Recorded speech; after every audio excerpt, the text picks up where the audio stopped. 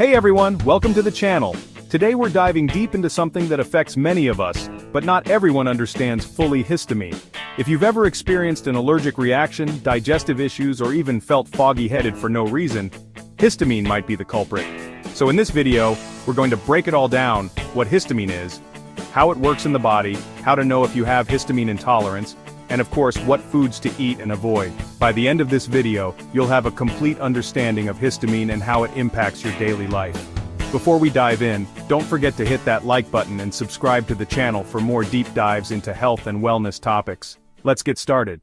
Histamine is a naturally occurring chemical in your body. It's a biogenic amine, which means it's a molecule derived from an amino acid, specifically histidine. So, it's made by your body from the food you eat. But here's the thing.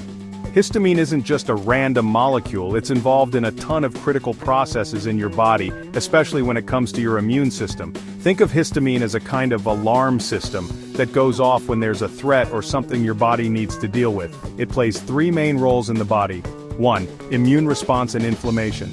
This is probably the most well-known role of histamine. It helps your immune system fight off bacteria and viruses.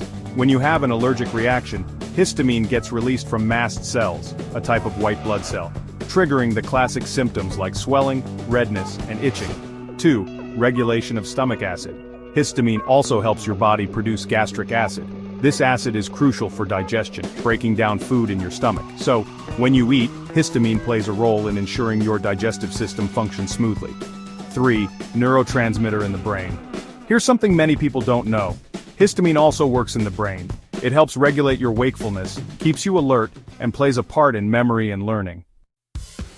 Now you might be wondering, if histamine is so important for the body, why does it cause problems? Well, too much histamine or a sensitivity to histamine can cause some serious issues. 1. Allergic reactions. When your body thinks a harmless substance, like pollen, pet dander or certain foods, is a threat, histamine gets released. This causes your blood vessels to expand, which results in inflammation and that leads to common allergic symptoms like runny nose, sneezing, itchy skin, and swelling. 2. Asthma and respiratory issues. Histamine is also responsible for tightening the muscles in your airways. So when you have an allergic reaction in your lungs, it can lead to wheezing, shortness of breath, and coughing, which is why histamine plays such a big role in asthma. 3. Skin reactions. Another classic symptom of too much histamine is hives or itchy rashes. If you've ever had a sudden allergic reaction, you might have experienced this. Your skin can become red, swollen, and itchy, and in some cases, blisters may form. 4. Migraine headaches. Some studies suggest that histamine can trigger migraines or headaches in sensitive individuals. This is because histamine can dilate blood vessels in the brain, causing discomfort. Okay, so here's where things get tricky. Histamine intolerance is a condition where your body has trouble breaking down histamine properly. In a healthy person, enzymes like diamine oxidase, DAO, break down the histamine that your body doesn't need. But if you have a DAO deficiency or an imbalance, histamine can build up in the body, causing symptoms even without an allergy. Histamine intolerance can mimic the symptoms of allergies but it's not actually an allergic reaction. Instead it's more like your body just can't keep up with all the histamine it's exposed to. This can cause headaches, fatigue, bloating or digestive issues, skin rashes, nasal congestion, anxiety or irritability, since histamine also works in the brain. So it's not always obvious whether you have histamine intolerance and it's something many people don't realize they have. So, if you're dealing with histamine intolerance or just want to manage your histamine levels better, your diet is key. Let's break down which foods you should eat and avoid. Foods to avoid. 1. Aged cheeses like cheddar, Gouda, and Parmesan. 2. Cured meats such as salami and prosciutto. 3. Fermented foods like sauerkraut, kimchi, soy sauce, and miso. 4. Certain fish including tuna, mackerel, and sardines. 5. Alcohol, especially wine and beer. 6. Tomatoes, spinach, and eggplants can also be triggers. These foods are either high in histamine or cause your body to release more histamine. Foods you can enjoy. 1. Fresh meats like chicken, turkey, and fresh fish. 2. Low histamine fruits such as apples, pears, and melons. 3. Fresh vegetables like carrots, cucumbers, broccoli, and zucchini. 4. Grains such as rice, quinoa, and oats. 5. Herbal teas like chamomile and peppermint. Sticking to fresh, unprocessed food is really the best way to keep histamine levels low and reduce symptoms. Managing histamine intolerance isn't just about diet, there are other lifestyle changes that can help too. Let's talk about a few strategies that can make a big difference. 1.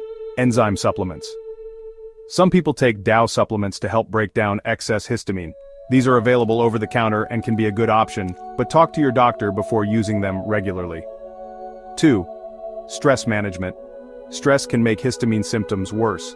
Things like yoga, meditation, or just taking time to relax can help lower histamine levels. 3. Proper food storage. When you store foods, make sure they're fresh. Leftovers can cause histamine to build up. Freezing your meals can help preserve their freshness. 4. Hydration.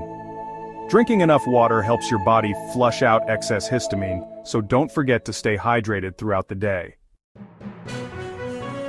Finally, if you suspect histamine intolerance or if your symptoms are severe, it's important to consult with a healthcare provider. They can help rule out other conditions, test your DAO enzyme levels, and guide you through more advanced treatment options. Remember, histamine intolerance can be tricky, but with the right diet and lifestyle changes, most people can manage it successfully. Thanks for sticking around. I hope this video gave you a better understanding of histamine and how it impacts your body. If you're dealing with histamine intolerance, remember, a little change in diet and lifestyle can make a big difference. Don't forget to like, subscribe, and hit the bell icon so you never miss an update. If you have any questions or tips you'd like to share, drop them in the comments below. See you in the next video.